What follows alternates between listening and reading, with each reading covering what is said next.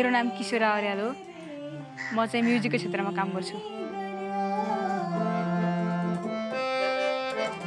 म चाहिँ जन्मिँदै दृष्टिबिन हो। म करिब नौ महिनाको भएपछि मात्र मेरो बाबाआमाले म दृष्टिबिन छु भन्ने थाहा पाउनुभएको।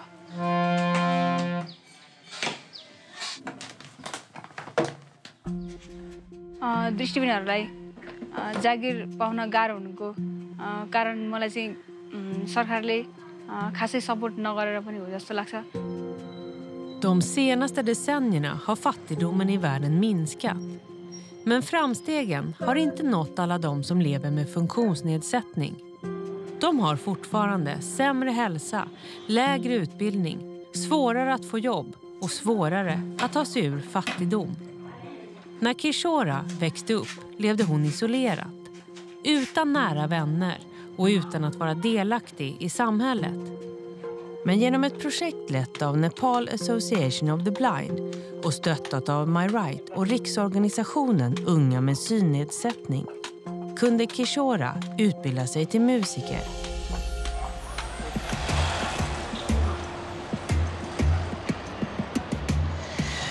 म अहिले अ, जब गर्दैछु रुम लिएर बसिरहेको छु अ, इन्टरनेट पनि छ रुममा अ, मजाले बसिरहेको छु My Right jobbar för att personer med funktionsnedsättning ska få tillgång till sina mänskliga rättigheter.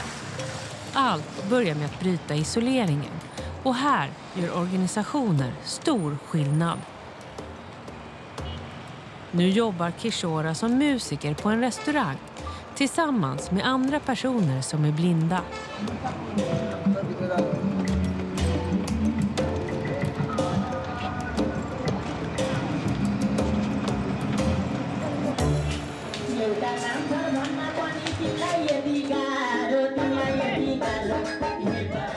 अनि त्यही कारणले मलाई एकदम खुसी लाग्छ अनि म म जस्तै दृष्टिबिनहरू सबै आत्मनिर्भर भएर रहन् जस्तो लाग्छ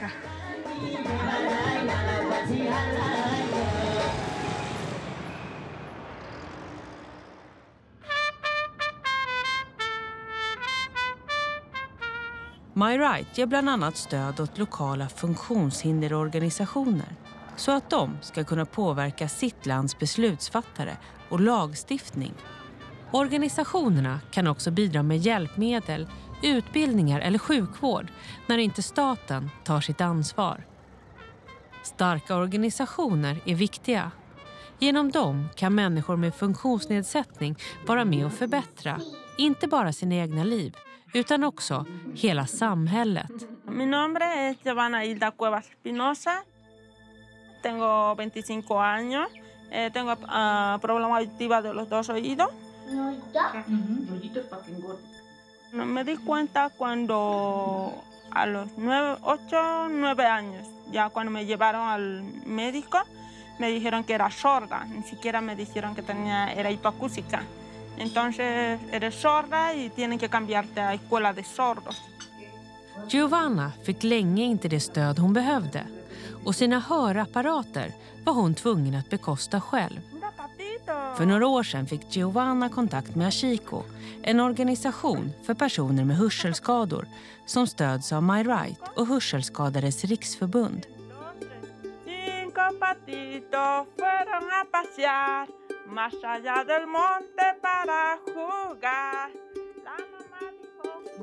Giovanna läser nu på universitetet för att bli lärare för barn med funktionsnedsättning.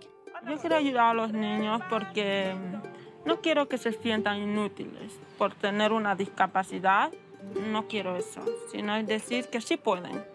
Pese a diferentes discapacidades, sí pueden. Hay tantas, tantas cosas que hay veces los niños no se sienten bien.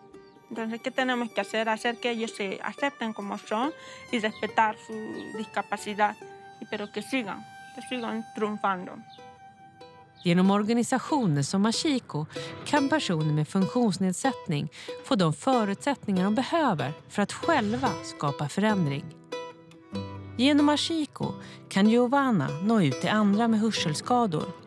De som inte vet att de har rätt till hjälp och de som inte ens vet att det finns andra i samma situation.